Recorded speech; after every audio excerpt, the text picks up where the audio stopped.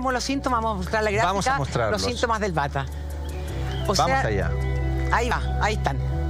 Ahí los Para que puedan tomar conciencia, lápiz. Problemas en las uñas, complicaciones en el colon, calambres y temblores, artritis, taquicardias, insomnio y desmayos. Pero eso estamos hablando ya de enfermedades que ya te han avisado varias veces y de repente ya el cuerpo dice ya colapsé, te estaba avisando.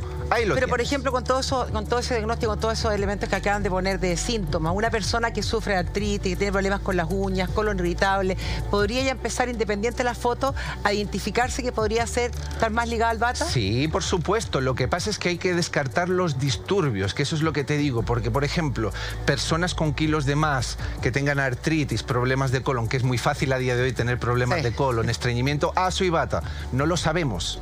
No lo sabemos. Sabemos que eso es un disturbio de bata cuando hay estreñimiento. Cuando hay uñas eh, quebradizas hay un disturbio de bata. Sabemos que las personas que se desmayan es porque hay un disturbio en esos momentos de bata. Bien, pero no sabemos si es tipología, si es la dosha bata la que predomina en esa persona. Sabemos que en ese momento eso es lo que ha sucedido. ¿Tú cómo te identificaste, por ejemplo, con bata? ¿Por tu estructura ósea? Por los cinco años de estudio que, que el profesor entraba. Mirar, es que esto es complejo. Yo entraba un día a la sala con los demás alumnos y por la manera de caminar me decía, tú eres pita. Y al día siguiente entraba de una manera caminando y hablaba de una, de una manera y me decía, tú eres bata.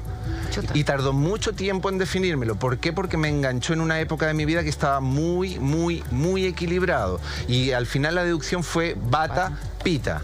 Las características, como te digo, del bata son las que hemos mostrado antes. Entonces, una persona pita, por ejemplo, eres tú.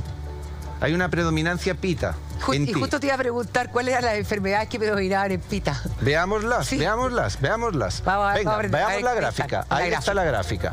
Mira, está todo tipo de problemas en la piel, dolores de cabeza. eh, sufren de descomposición, hay inflamaciones, fiebre y acidez. Ok, por ejemplo, una persona que es pita. ¿Ya? Podría hacer esto, pero no necesariamente, por ejemplo, tú dijiste que era pita y yo no tengo ninguno de esos síntomas. Eso sería cuando mi docha se O desequilibra. sea, a eso es- son los síntomas de cuando ya hay una enfermedad. ok, cuatro eso, cuando estamos, dese- de- estamos desequilibrados. Sí, pero muy nuestro- desequilibrado. Aquí estamos yendo a la enfermedad. Antes hay avisos.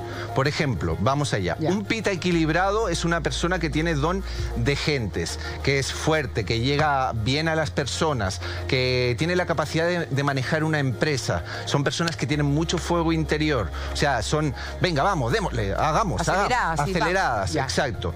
Pero cuando están en disturbio, eso es enfermedad, ¿ya? Pero cuando están en disturbio, no necesariamente tiene que ocurrirles eso. Eso es ya cuando es un caso extremo, ¿bien?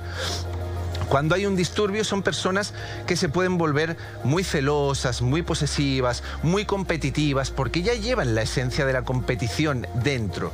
No es malo.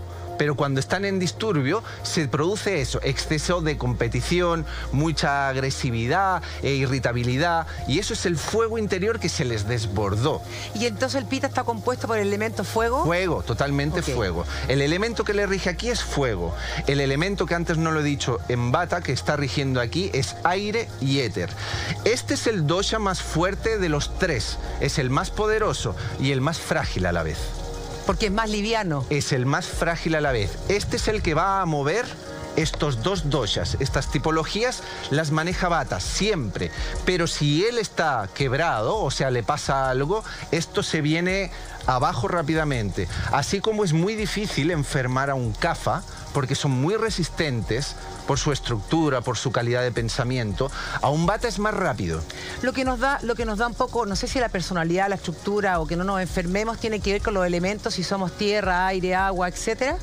Si se desequilibra, por ejemplo, en mi caso era fuego, si se desequilibra el fuego, o en tu caso tierra, pronto tú, ahí pasa algo entre nosotros, nos desestabilizamos. Claro, la, desestabiliza- la desestabilización, por ejemplo, viene tan sencillo como un pita equilibrado, te vuelvo a decir, donde gentes, llega, todo está bien, maneja una empresa, tiene muchos trabajadores a su a su a, a- a su, Sí, en a su su cargo, rubro, a su a su cargo, cargo, que no me salía.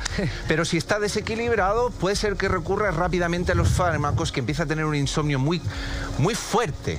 repentino. Sergio, esto como la psicología, que hay algún problema puntual. ¿qué, des- qué desestabiliza, por ejemplo, a un pita, a un bata, si la salud es fuerte y todo? ¿Qué O puede sea, provocar una a un pita lo va a desestabilizar el exceso de calor, por ejemplo.